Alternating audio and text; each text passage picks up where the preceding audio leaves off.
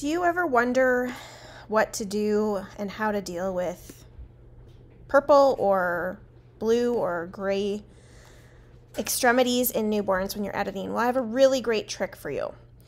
All you have to do in Photoshop is go to color balance.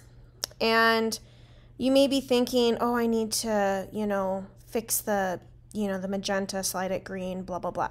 But what causes the extremities to lose their color? Well, that is poor circulation.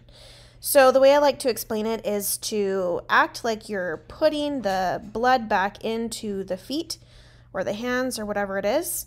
And then you're going to press Command I to invert that mask. So, first, I'm going to brush on the feet with a white brush.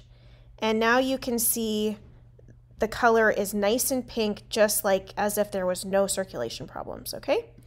So this is before and this is after. Next, we just go to levels and we are going to increase the exposure in the midtones. So I am just going to increase it just like that. And then I'm going to click back on this mask, hold the option key, drag it up, and there we go. So now I'm going to group these two layers together and we'll just show you before, after. Very simple fix, and you can make this into an action on your own. Hope you enjoyed it. Make sure that you subscribe to my channel so that you can learn more great tip, tips and tricks.